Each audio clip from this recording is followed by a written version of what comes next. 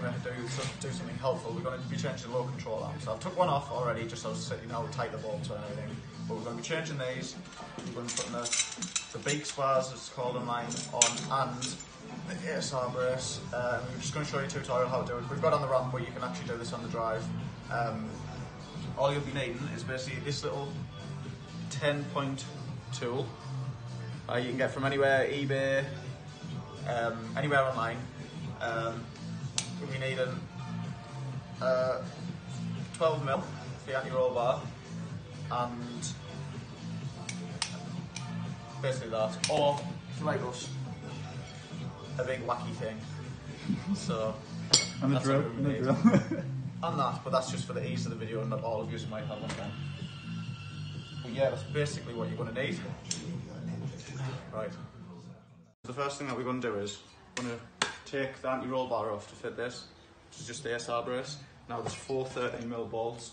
Now, I don't know if you can see, but the here, here, top one, and the um, sometimes they rusted on, sometimes they're not. I would luckily haven't been. We're on the drive, like I said, we just got propped up because we have the option to prop it up. Now once it's off, that should be loose. Now basically all this does is, well, it'd be clever to take this off first, which I'm going to do in a second, but all this will do is slide behind there, and you'll come with what's spaces to take out of here.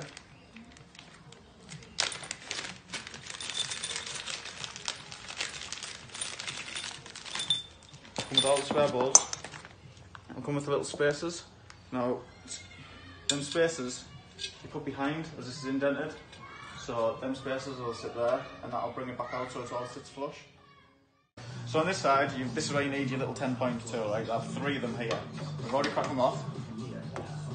Make sure they're on because the last thing you want to do is round them. Or what I should have done first was actually make sure it was on the gun.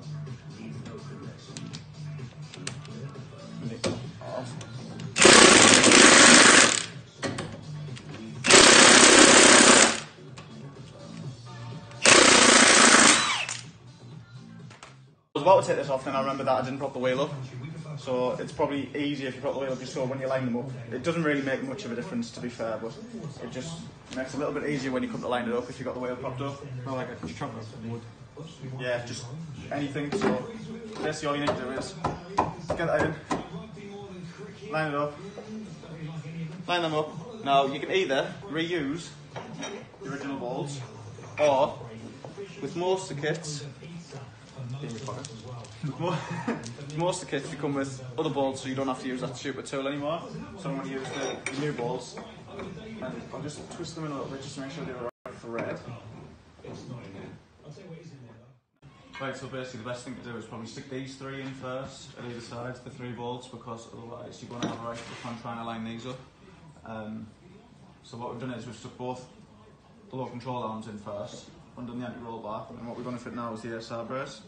Now, it's a bit difficult when you're on your own, because you're going to have to hold this up, put the spaces behind, try and line them up. So what we're going to do is, Louis going to give us a hand, and I'm going to put these, just keep, sit these behind there, just so in, and I'll line them up with a screwdriver, and I'll stick the anti-roll bars back on first.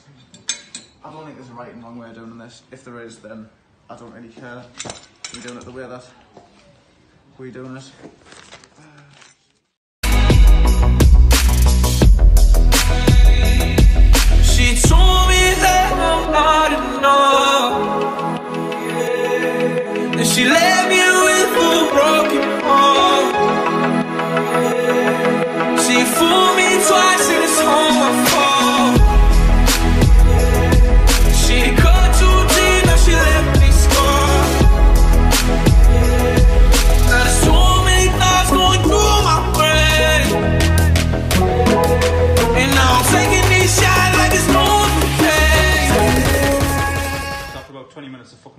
That they actually sent us the one, this bottom bolt here was a completely different size to the other ones, which is, I'm pretty sure, is not meant to be the crack, but anyway, ASR braces are fucking cheap Chinese shite anyway.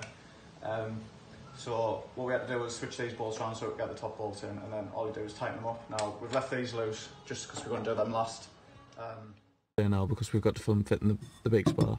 Um, basically, if you had the wheels propped up, then this 17mm bolt will line up perfectly to the low control arm. It goes straight through the big spar on here, and straight through goes comes out the back. You don't need to put a nut on the other side; it's already got one, and you just tighten them up both sides, and then on the big spar you have an Allen key, two Allen keys, and two nuts underneath and you just tighten them up at either side and that's it all fitted so that'll be the anti-roll bar on top of the ASR brace and then the big spar on top of the ASR brace as well 17 all through tighten them up everything should be on now the reason I stopped filming yesterday is because I actually snapped up Alright, it's Matt from Tactical Racing. We're going to start doing YouTube videos on how to fit various parts of the EP3. Um, you'll just watch our video on how to fit the low control arms, big spar and ASR brace.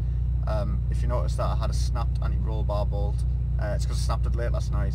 Couldn't be asked to drill it out, so we're going to be drilling it out today. Um, just thought we'd do little videos to help people out rather than just skip people as we tend to do on the forum a lot. Um, yeah, so we appreciate if you subscribe to us. Cheers.